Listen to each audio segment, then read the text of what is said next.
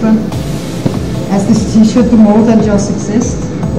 It's, you can be there and you can see things happen, but you can actually also be part of it and you not just be there, but do stuff. I didn't be in the community for so long, I've just been there for three and a half years, something like that. It's not a long enough. I did capoeira, so I got capoeira classes. Did capoeira before, it was my passion before that. Uh, and it didn't matter. I have one arm, I can't stretch my arm because I fell down from a bar and my bones just come out and whatever shit happens. what can I do? I will still be part of community. Uh, it's about, it's not about movement. It's also about how can, what, how can I be involved to do, to use my skills to be involved in some other levels.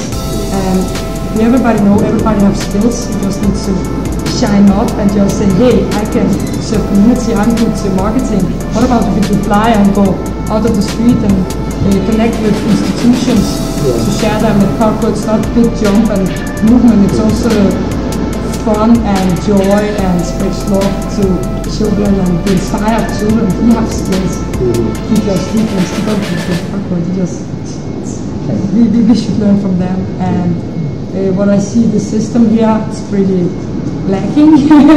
it's you should learn think out of box and you have a key. So it's time to not be quiet with your passion but have fun but also share with other people.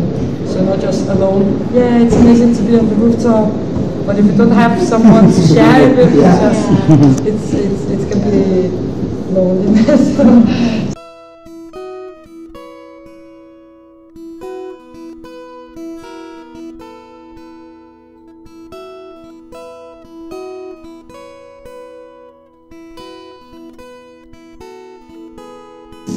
Both of.